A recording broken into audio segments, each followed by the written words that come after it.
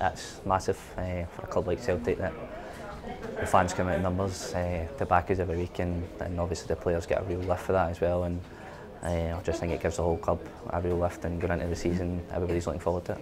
It's different time obviously for the last manager so it's good it's it's exciting for the new for the fans and new managers coming in it's exciting for the players as well so uh, yeah everybody should be buzzing.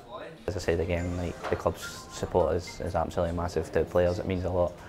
Obviously, it means a lot to the, the fans as well, and that we go and deliver our side on the pitch.